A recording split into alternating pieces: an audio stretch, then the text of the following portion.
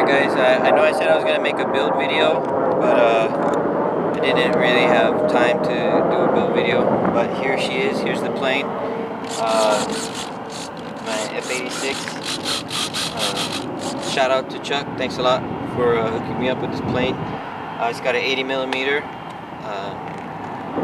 I'll explain more in the in the credits or whatever, but we're, we're out here, we're going to maiden flight this, see how it flies, alright?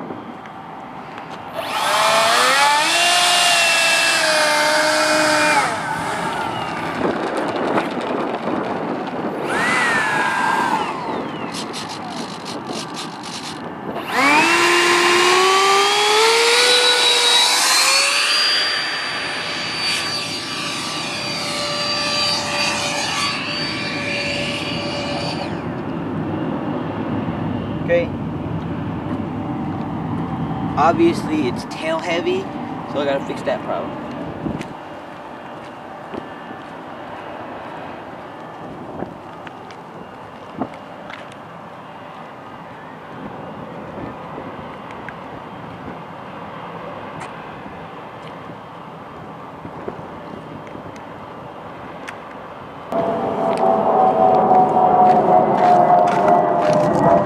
Okay, so uh, that didn't go so well, obviously.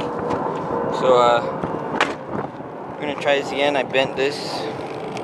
Let's go ahead and bend it back. Look at that, good as new. I think.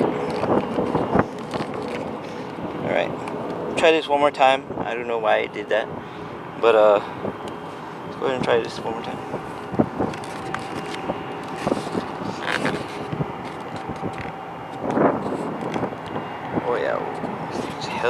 Hella, tail heavy.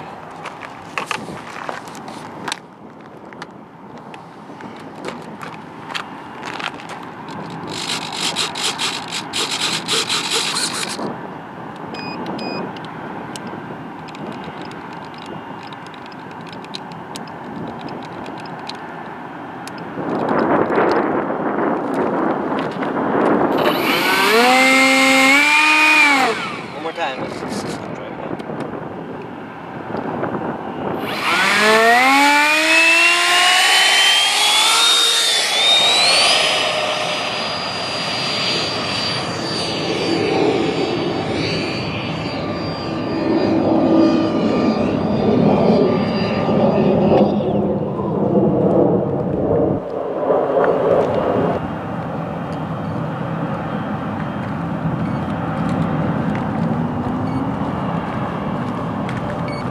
Well, one thing's for sure, this plane definitely knows how to take a beating.